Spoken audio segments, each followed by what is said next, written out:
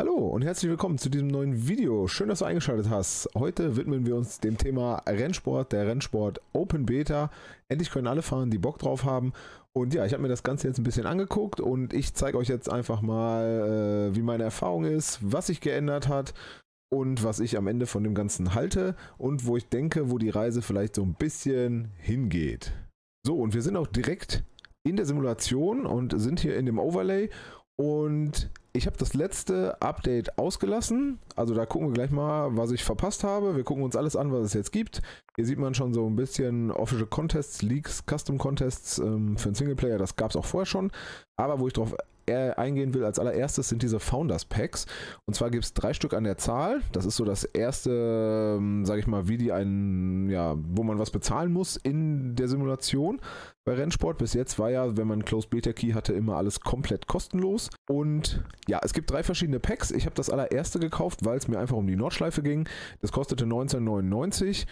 Ähm, es gibt noch zwei größere Packs, wo es dann auch ein Fahrzeug und unterschiedliche Liveries gibt. Das ist der Porsche 911 GT3 Rennsport.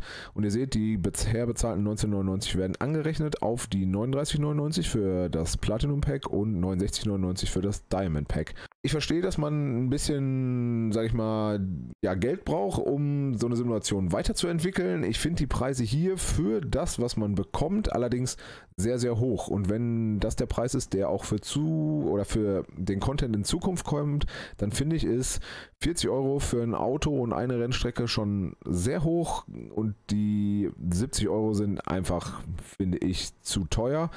Ähm, und deswegen sage ich auch, also ihr braucht theoretisch, um euch Rennsport anzugucken, eigentlich gar keins davon. Dann habt ihr halt die Strecke nicht und das eine Fahrzeug nicht.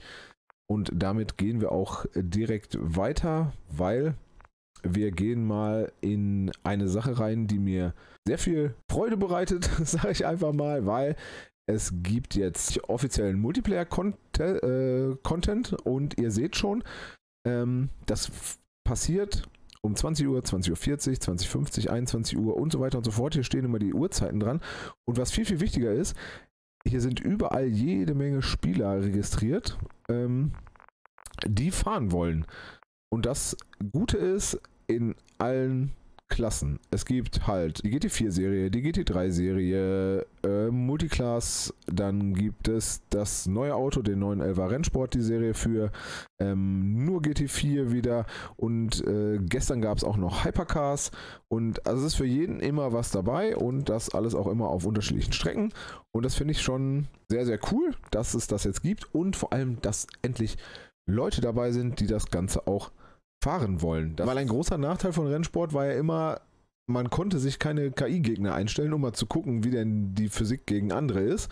Ähm, Im Singleplayer konnte man nie Gegner einstellen und das geht auch aktuell immer noch nicht und das stört mich auch nach wie vor, aber jetzt sind die Multiplayer-Server, die vorher eigentlich auch immer leer waren, auf jeden Fall gut gefüllt und man kann sich das Ganze mal vernünftig angucken.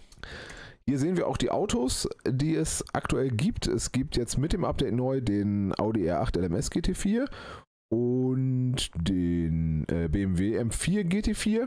Das Hypercar oder die Hypercars waren schon im vorherigen Update drin, also einmal den Porsche und den BMW.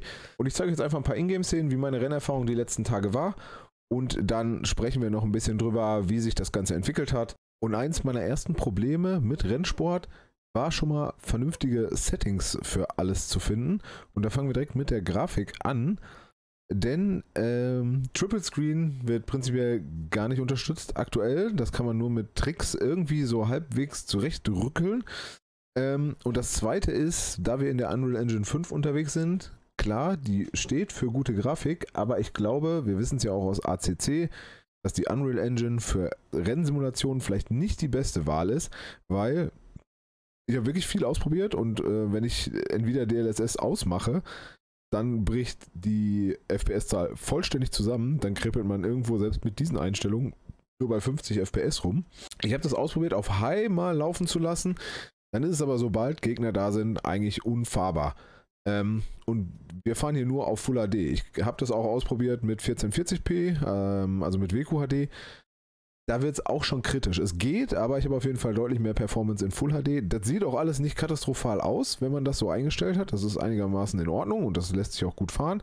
Es ist einfach so, ich weiß, ich bin hier auf einem Single-PC-Setup unterwegs, aber wir fahren mit einer Ryzen 7 5800X 3D und einer 3070 Ti. Und ich muss jetzt einfach den Vergleich ziehen. In ACC, auch in Le Mans Ultimate, was ja auch noch im Early Access ist, und da im Triple Screen habe ich deutlich, deutlich bessere Performance und deutlich bessere und konstantere FPS, weil ich sag mal so, das Ziel sollte immer zwischen 80, 100 oder sogar mehr FPS sein, obwohl ich mit 80 bis 100 eigentlich immer ganz fein bin. Aber das kannst du in der Konfiguration in WQAD mit höheren Details vergessen, wenn Gegner da sind. Und von Triple Screen brauchen wir gar nicht anfangen. Also das ist was, wo ich sage, da muss definitiv noch dran gearbeitet werden. Die Grafikperformance ist, finde ich, aktuell absolut nicht zumutbar. Das nächste, was wir haben, ist in den Audio-Optionen. Man muss für jedes Auto irgendwie die Volumen oder die Audiooptionen anpassen, weil sonst ist das eine Auto viel lauter als das andere, das andere ist dann irgendwie zu leise, dann hört man nicht richtig was und äh, das ist auch nicht so großartig gelöst. Und bei den äh, Einstellungen, die wir hier haben zum äh, Force Feedback, musste man auch alles komplett neu konfigurieren. Das hat aber tadellos und super funktioniert mit meiner Moser Base und dem Moser Wheel und meiner Buttonbox, die dabei ist. Also da wurde alles sofort erkannt und das äh, muss man sagen, funktionierte wirklich gut. Wenn dir das Video bis hierhin gefallen hat, tu mir einfach den Gefallen, lass jetzt gerne ein kostenloses Abo da. Kleiner Klick für dich, große Hilfe für mich. Vielen Dank. Weiter gut. geht's. Eine Sache, die mich, die mir noch aufgefallen ist, ist, dass man, jetzt gehen wir mal eben kurz zurück hier, und zwar, wo ist es denn hier? Genau, im, ähm, äh, die, die, die, ja, hallo? Ist es denn? Ach so, genau, ich, ich suche jedes Mal danach. Ähm, das FOV muss man für jedes Auto auch wieder separat einstellen. Das ist für jeden Wagen einzeln zu konfigurieren und was fehlt, ist die Neigung, sag ich mal, dass man vielleicht ein bisschen höher sitzt und trotzdem das volle Dashboard sieht oder andersrum, dass man sich ein tiefer äh, setzen möchte und dann das ganze Dashboard sieht. Zudem habe ich die ganze sag ich mal, äh, Real Head Motion Geschichte, also das adaptiert das hier ja, wie sich das Auto bewegt und der Horizont bleibt und so weiter. Und das habe ich alles ein bisschen runtergestellt, weil das in der Grundeinstellung für mich viel zu extrem war. Konnte man aber auch super einstellen. Das funktioniert. Wie gesagt, mich stört es nur, dass ich mein FOV für jeden Wagen neu einstellen muss, dass das nicht irgendwie übernommen wurde. So, und wir starten mit den GT4s, weil ich muss sagen, das ist die neueste Klasse und es ist auch aktuell eine der besten Klassen, finde ich seht im Hintergrund die Startprozedur, finde ich sehr cool, auch mal stehende Starts, auch wenn ich das irgendwie noch nicht so wirklich raus habe oder noch nicht so ganz so gut bin. Aber ihr seht schon, das Ganze wird ganz gut klar. Es gibt nur zwei Autos, dementsprechend ist das Ganze nicht so dolle das Feld aufgeteilt, was die Vielfalt angeht, aber dennoch kann man sehr, sehr cool mit den GT4s fahren. Ich finde aktuell haben die GT4s eine gute Fahrphysik, wenn nicht in Rennsport die beste Fahrphysik überhaupt. Ihr habt gerade am Start auch gesehen, es geht auch schon mal ziemlich wild zu, aber größtenteils verkraften die Autos das hier ganz gut. Also die Kollisionsphysik in der ganzen Simulation ist äh, wirklich ganz gut umgesetzt. Und in den GT4s, was mir halt sehr wichtig war, was man ja vorher in der Beta immer hatte, dass die Physik ein bisschen komisch ist, dass die Autos sehr viel gerutscht sind muss sagen, hier bei den GT4s fand ich jetzt, war das gar nicht so der Fall. Es war völlig in Ordnung und man, das Auto fuhr einfach nachvollziehbarer. Und das ist für mich was, was ja in so einer Simulation einfach ja immer mit am wichtigsten ist. Die Autos müssen nachvollziehbar fahren und man muss im Lenkrad ein bisschen das spüren, ja, was das Auto einem gibt. Man fühlt sich in den GT4s auf jeden Fall verbunden mit der Straße und das Ganze, ja, äh, macht auf jeden Fall so, am meisten Sinn und macht für mich aktuell in Rennsport die GT4-Klasse am meisten Spaß. Und das Rennen auf Spa war auch sehr gut. Sowieso Spa, ein, sag ich mal, in der neuesten Variante. Sehr cool umgesetzt, macht sowieso sehr viel Spaß. Und ja, ihr seht aber auch hier in Rennsport geht es relativ wild zu. Da es ja aktuell kein Strafensystem gibt. Man kann zwar Spieler reporten, habe ich gesehen, aber ich weiß gar nicht, was dabei rauskommt, wer sich darum kümmert. Aber im Großen und Ganzen hat diese GT4 Rennserie dem Ganzen hier auf jeden Fall sehr gut getan und das finde ich äh, war eine gute Idee, die einzubinden und ihr seht auch hier, man kann wirklich schöne Duelle haben, Kopf an Kopf. Und auch wenn es hier mal zu einer Berührung kommt, ist es auf jeden Fall nicht so, dass sich die Autos sofort wegdrehen, dass man sofort irgendwie ja, sich wegspinnt, wie das ja leider in ACC sehr oft der Fall ist. Kleinste Berührung, das Auto dreht sich. Das ist in Rennsport auf jeden Fall besser und da kann man sehr, sehr cooles Racing haben, wo man nicht sofort frustriert ist, wenn es mal einen Kontakt gab, weil man sich dann dreht. Hier seht ihr jetzt sofort die andere Startvariante, die es gibt, der fliegende Start. Da muss man sich auch, wie man das halt kennt, in so einer grünen Box aufhalten, äh, auf seiner Linie bleiben. Dann ja, geht es auch gleich direkt los. Hier sind wir in den Hypercars unterwegs. Ich habe den BMW genommen. Es gibt ja noch den Porsche als Hypercar.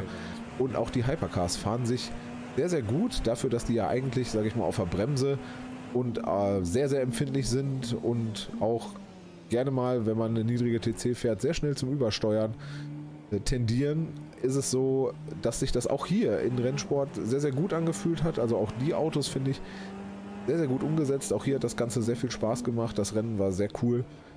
Auch wenn es hier wieder nur zwei Fahrzeuge gab, aber immerhin gibt es unterschiedliche Klassen und die Klassen fahren sich aktuell sehr, sehr gut. Aber auch hier ging es mal wild zur Sache, wie ihr schon seht. Also der eine oder andere wurde auch hier mal abgeräumt.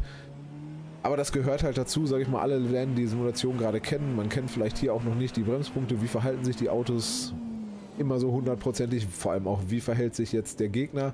Weil man hat ja hier kein Rating, kein Ranking-System. Also aktuell ist es ja so, jeder fährt gegen jeden, egal auf welchem Skill-Level man sich irgendwo bewegt.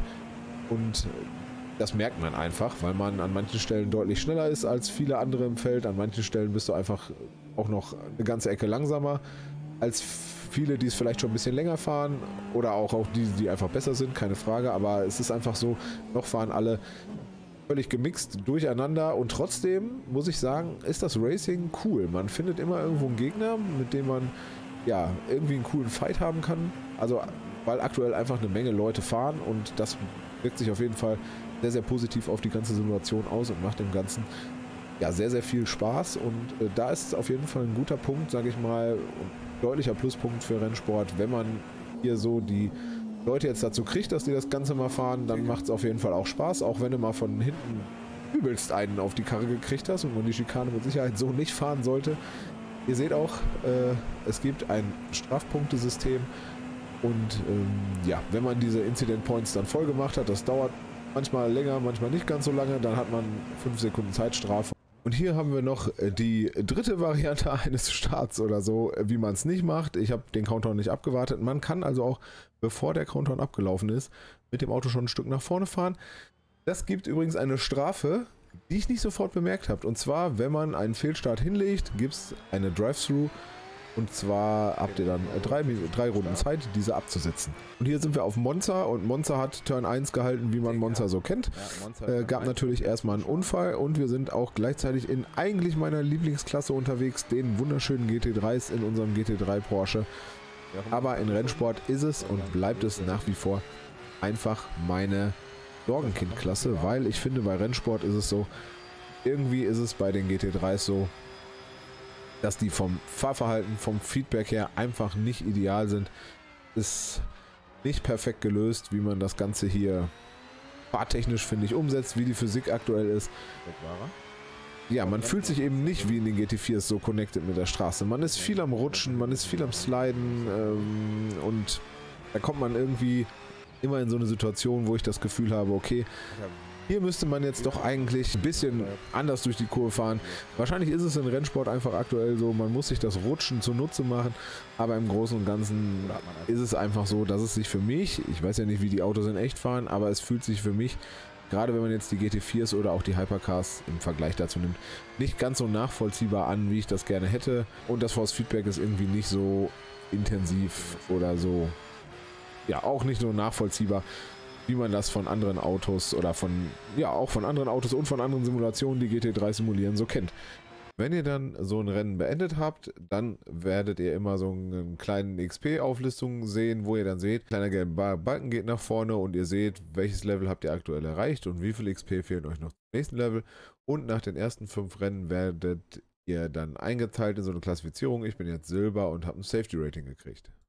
Ja, und das ist der aktuelle Stand zur Rennsport Open Beta ihr könnt es gerne selber ausprobieren. Ihr müsst euch dafür einfach nur im Epic Store das Ding runterladen, die Rennsport-Beta äh, und dann einen Account auf der Rennsportseite erstellen.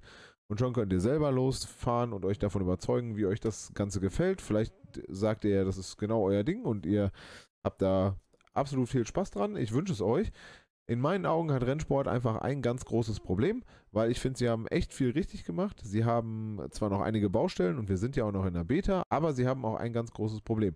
Und zwar ist es das, wenn du Spieler von aktuellen Games, ob das jetzt im Simracing ist oder sonst wo ist, aber bei uns jetzt explizit im Simracing ist es so, wenn du Fahrer aus der aktuellen Simulation zu einer neuen Simulation holen willst, dauerhaft, dann musst du in deiner Simulation halt besser sein als die aktuelle Simulation oder etwas besser machen als die aktuelle Simulation. Und ich finde einfach, um jetzt, sage ich mal, die beiden Platzhirsche, ein ACC oder ein iRacing abzulösen, sind sie noch sehr, sehr, sehr, sehr weit entfernt. Also es ist nicht so, dass man sagt, ja, sie sind nah dran oder es könnte bald so sein, sondern sie sind einfach noch wirklich, wirklich weit entfernt, um äh, da irgendwie dran zu kommen, weil die anderen natürlich auch schon Jahre der Entwicklung an Vorsprung haben. Aber das ist genau das große Problem, glaube ich, bei Rennsport. Da ist in meinen Augen, um es jetzt nochmal zu sagen, Le Mans Ultimate einfach näher dran, um irgendwie da was erreichen zu können. Und da müssen sie definitiv in Rennsport dran arbeiten, um da irgendwie was zu erreichen, was zu leisten, was den Nutzer auf jeden Fall dazu bringt, jawohl, das ist in den und den und den Punkten nicht genauso gut, sondern wirklich besser und gut anders besser als Mehrwert für den eigentlichen Simracer, um einen Wechsel hinzubekommen. Da ist die Frage, wo soll denn die Reise von Rennsport hingehen? Das wissen wir halt nicht so genau, da können wir immer nur mutmaßen. Aber da müssen sie in meinen Augen noch einiges machen, wenn sie denn diesen Markt erreichen wollen. Gerne in die Kommentare. Wie ist eure Meinung zur Beta? Habt ihr sie schon ausprobiert? Und dann wünsche ich euch ganz viel Spaß. Schaut euch jetzt gerne mein nächstes Video an und dann sehen wir uns on track. Bis dahin, macht's gut. Ciao, ciao, euer Alex.